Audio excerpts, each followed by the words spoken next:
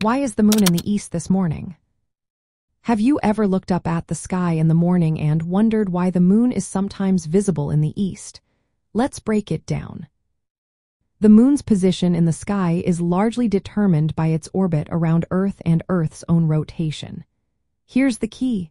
The moon rises in the east and sets in the west, just like the sun and other celestial objects outside the polar circles.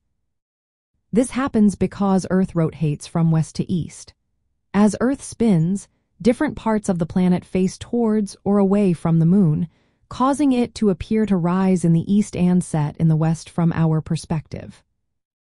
Now, let's talk about the moon's orbital motion. The moon moves about 12 to 13 degrees eastward each day relative to the stars. This means that every day, the moon appears in a slightly different position in the sky compared to the previous day. Here's how it affects the timing. Because the moon moves eastward, it rises about 50 minutes later each day. So, if you saw the moon in the east yesterday morning, today it will rise a bit later, and tomorrow even later still. The lunar phase also plays a role in when the moon is visible.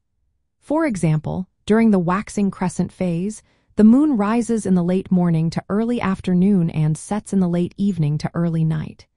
As it moves through its phases, the timing of its rise and set changes. When the moon is in its full phase, it rises in the east around sunset and sets in the west around sunrise. This is why you might see the moon in the east during the morning if it is in the waning gibbous or last quarter phase, as these phases occur after full moon. In summary, the moon is in the east this morning because of Earth's rotation and the moon's own eastward orbital motion. The exact timing depends on the moon's phase and its position relative to the sun and Earth.